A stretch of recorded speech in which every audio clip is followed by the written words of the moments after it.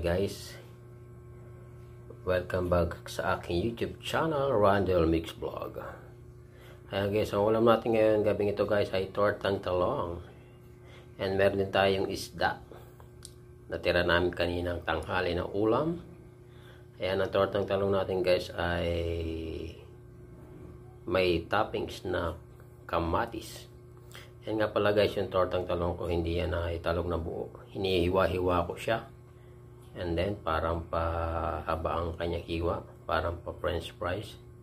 And then saka ko siya tinimpla sa itlog. At may pampalasa. Iyan. Meron tayo sa usawa na toyot, kalamansi. Ayan o. Oh. Saktong-sakto guys yan sa panghapunan natin. Sa dinner natin ngayong gabing ito. Ayan. Ayan po ang aming pagsasaluhan ngayong gabing ito. Ang tortang talong. At meron tayong isda dyan na natira kaninang tanghali na aming ulam. Ayan guys, simple lang yan lutuin.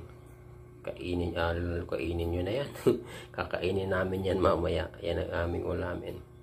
Lutuin nyo na yan guys. Simpleng-simple lang. Ayan guys, tara guys tayo magsikay na. Alright, hanggang dito lang ang aking YouTube channel, Rodden Mix Vlog, and pahit na rin ang notification bell para updated kayo sa iba ko pang videos. Ayan, bye-bye. Alright. Bye-bye you. Bye-bye you. Bye-bye you.